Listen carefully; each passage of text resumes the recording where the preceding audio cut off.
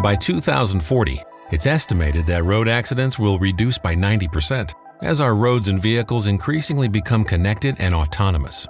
Location technology makes safer self-correcting traffic systems possible, and cellular will play a critical role in the infrastructure that supports vehicle-to-everything communications.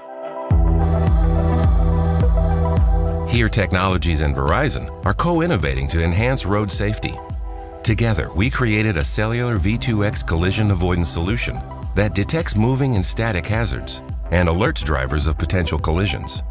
The solution is powered by Verizon's 5G Multi-Access Edge Computing, or MEC, and HERE's HD Maps and computer vision technology.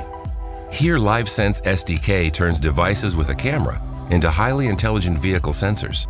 Using computer vision technology, the devices can detect other vehicles, pedestrians, and temporary lane closures or hazards.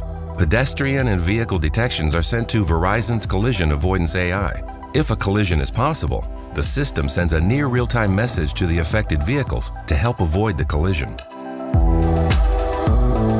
The combined solution introduces a heightened degree of situational awareness and helps drivers make more informed decisions.